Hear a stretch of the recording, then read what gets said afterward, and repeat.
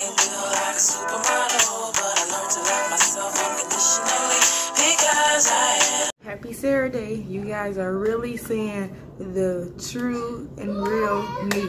I'm usually the type of person don't like to get on the camera if my hair ain't done, if my eyebrows ain't done. And look, God has been really testing me and trying to see how genuine and true I'm trying to be. Like out of the blue, like I just got these things on my eyebrows it came from getting them threaded. Uh, when I went and talked to a doctor, they said the threaders lifted some of my skin and, you know, it basically caused like a rash or whatever like that. And it's been here for like two months. And then out of the blue, this bump just popped up. Actually, it was two, and that was like last week, but it's going away now. And now my hair is wrapped up and it ain't down. I'm just giving y'all the real and the true me.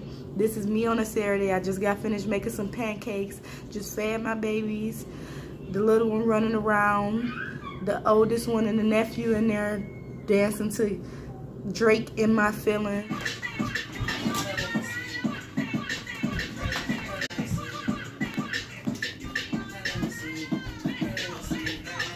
And I'm up waiting on my husband. He's on his way home from work.